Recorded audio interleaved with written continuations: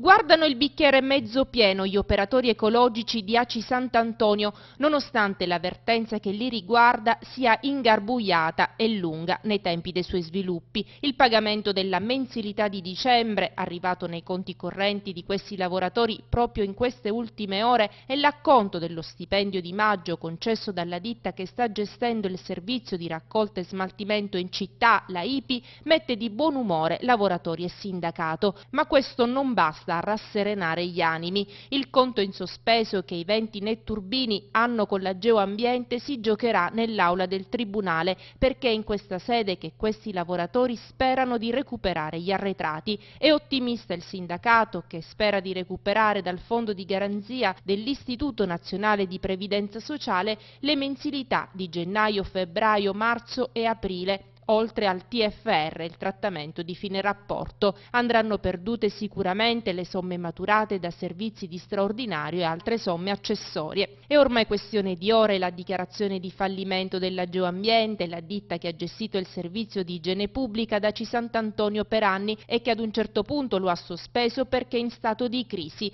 Con l'arrivo del commissario straordinario è arrivata anche la fine del contratto con il comune, il quale, insomma urgenza, ha affidare l'appalto ad un'altra ditta. Secondo quanto riferito dal sindaco Caruso, la IPI si occuperà anche del servizio di scerbatura di strade e aiuole